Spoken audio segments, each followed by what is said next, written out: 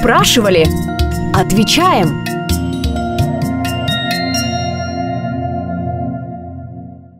Обязательно ли выполнять весь список нормативов для получения знака отличия комплекса ГТО?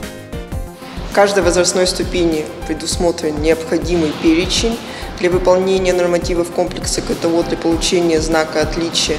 Поэтому вы можете посмотреть в личном кабинете, какие нормативы вам необходимо выполнить.